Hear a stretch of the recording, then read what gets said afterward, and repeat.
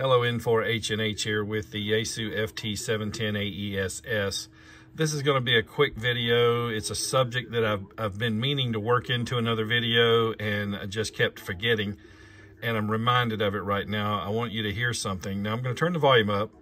So there's a QSO going on. Now I'm going to turn the volume all the way down. Excuse the focus there.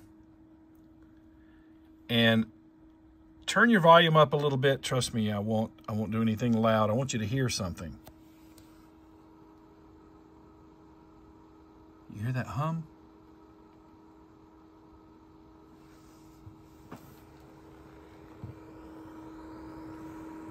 It's the fan. The fan runs, it's right here. The fan runs constantly even on receive. I haven't even transmitted. I just turned the radio on. I've been sitting here editing videos.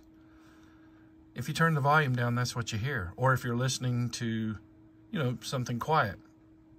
The fan runs all the time.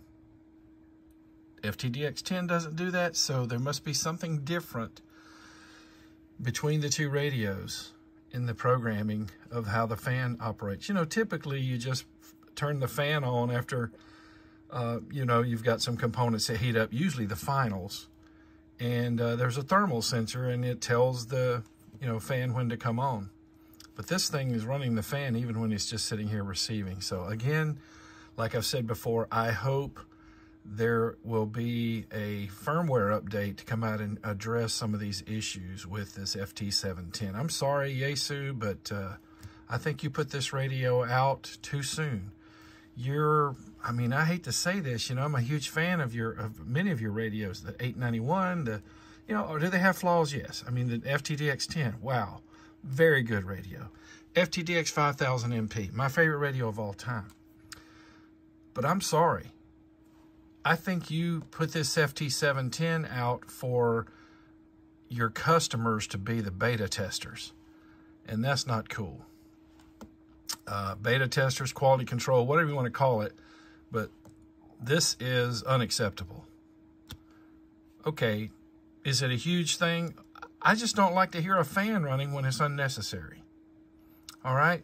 So anyway, uh, viewers, I hope you found this video tip helpful and informative. Just trying to tell you, you know, you know me, the good, the bad, and the ugly, the straight scoop here on this channel. I'm not beholden to a manufacturer. So I uh, just wanted you guys to know about that. Beware of that fan. It may be something they can address in a firmware update. Let's hope that they can.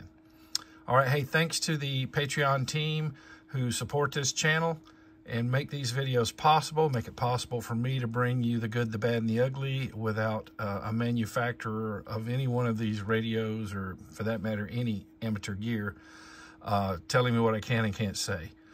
So that's much appreciated. If you want to join that Patreon team, www.patreon.com forward slash N4HNH, and I will put that here uh, on the display. And uh, also, please, if you would, click that like button, smash the thumbs up. Um, that helps us out with YouTube. Consider subscribing to the channel. And if you do subscribe, be sure to click the notification bell so you won't miss another video in this series or any any videos that I'm producing. I'm still producing other videos besides the FT710 series. And uh, finally, if you would, uh, share a link to this video on social media, text message, email, or phone a friend. Help them out, all right? Thanks a lot for watching, and 73 from N4HNH.